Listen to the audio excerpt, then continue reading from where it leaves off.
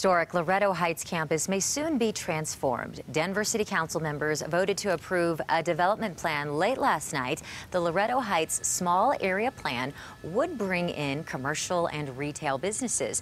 Westside Investment Partners bought the 70 plus acres that have been vacant for years. The iconic clock tower would remain, along with the admin building and the chapel. Housing may be built close by with consideration of preserving Latino neighborhoods. There is still one more rezoning vote to happen.